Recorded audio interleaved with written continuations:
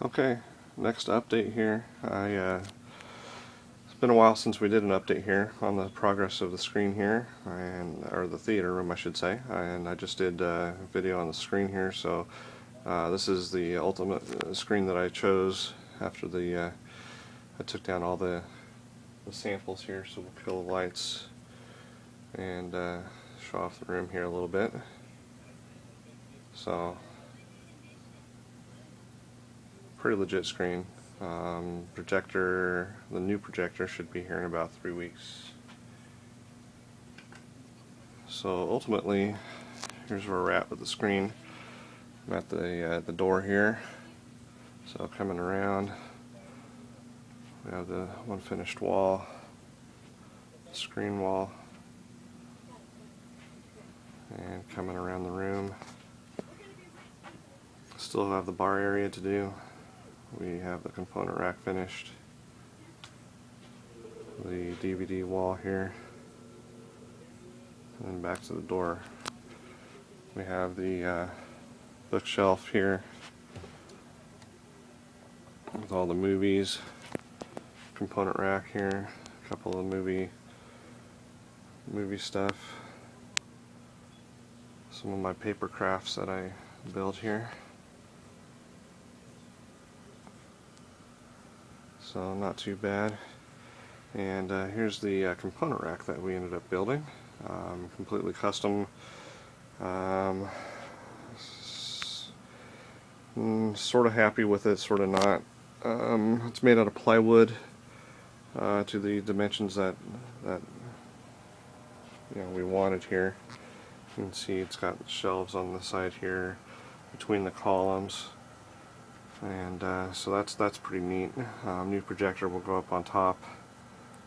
Um, all the uh, equipment here, lots of storage, which is definitely a good thing. Gives it a ni much nicer look to it. Um, the slanted piece here, we have a USB um, uh, hub charging system that you plug into the wall that'll uh, be able to charge all the 3D glasses when we get those in. Um, these are the 3D glasses that we'll be using um, I ended up uh, picking a, the, the, projector Panasonic uh, PTAE 8000U um, mostly because um, it has lots of capabilities of what I'm looking for um, both in 3D and in 2D and um, the uh, Sony 3D glasses are compatible with this projector. And instead of paying I don't know, 50-ish dollars uh, for a pair, um, I found a supplier that I can get brand new ones for seven. So seven dollars for a pair of active shutter view glasses is pretty legit. Um, the charging port is right here, um, and so what I'm planning on doing is making a, uh, a charging hub here, and we'll have the USB plugs up here, and each of the glasses will sit um, on this, and so when you come in this whole um, system here will be full of, of glasses. I think I'll be uh, getting 10 of them because you know seven dollars a piece here so 10 isn't isn't uh, too bad and that way when you have big movie parties and you'll have plenty of glasses for everybody. And it uh, didn't break a bit the bank to be able to do that.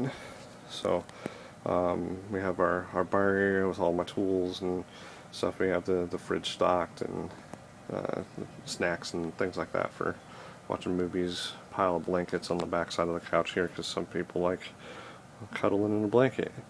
And there you have it. We have the uh, acoustic panels mounted. Hard to see here, but it uh, does give you kind of an idea. We have the uh, fiber optic star ceiling here. It's kind of sort of twinkles. We have a replacement on order to replace that that will kill the main lights here.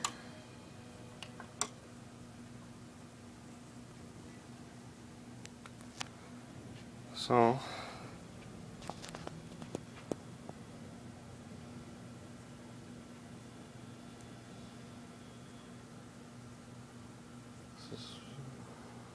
it looks like when we watch movies down here. I'm standing up so you can kind of see the star ceiling and stuff as it's uh, playing the movie.